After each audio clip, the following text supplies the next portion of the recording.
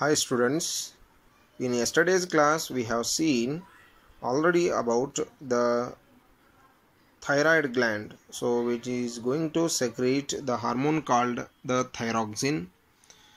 So the functions of thyroxine already we have seen in the yesterday's class.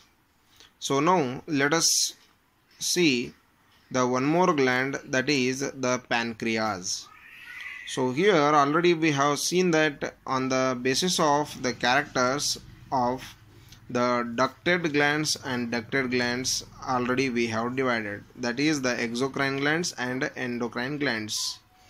So here the pancreas is going to work as the both the glands because it is going to secrete the insulin as well as the pancreatic juice so when we are going to see the location of this pancreas so it is located just below the stomach.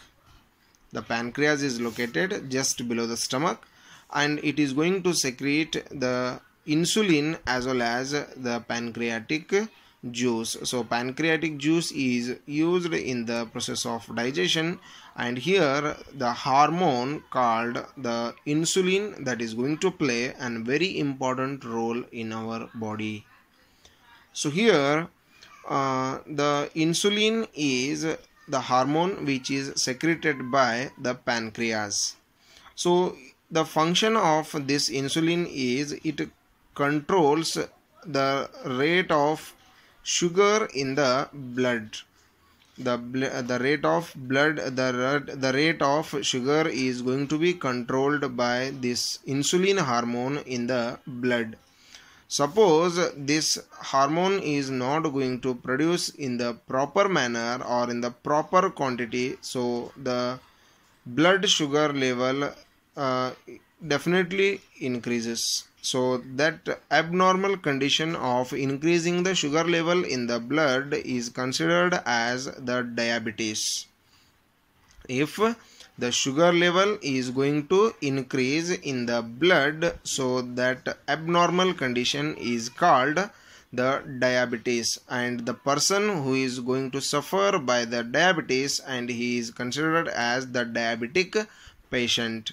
So here uh, the insulin is going to control the metabolism of sugar. The insulin is going to control the metabolism of sugar.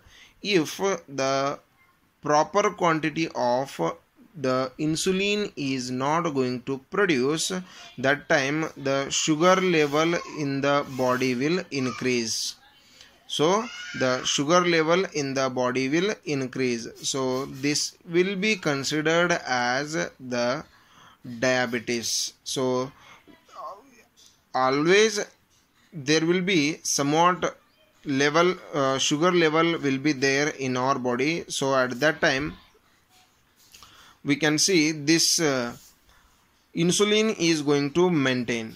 So always uh, we whatever the food we are going to eat it contains the glucose. Sugar means not only the sugar so that is the form of uh, the glucose that we are going to eat. So it is not going to it, it is not going to be utilized properly. So it is going to waste and the person will get the maximum problems regarding this uh, disease so he will be suffered uh, by always uh, unknowingly the urine will pass itself and uh, sweating more and it will uh, cause the weight loss. So this is these are the symptoms of uh, what the diabetes. And here the person will become very weak uh, and even by this abnormal condition maybe uh, death also takes place. So to control uh, kind this kind of disease or to improve uh, the immune system or to improve the insulin production in the body uh, we have to control the diet so the in the initial stage if the person is suffering from uh, this diabetes though so doctors will advise to take uh, less sugar in the uh, diet. So in the food we have to eat very less sugar or uh, the directly uh, we should not consume the sweet things. And here we can uh, uh, control this uh, diabetes in the initial stage by doing uh, the phys- physical exercise and controlling the diet as well as uh, reducing the weight by the physical exercise. Uh, we can control this disease. But uh, if the condition is serious at that time we must have to take the injections of uh, the insulin.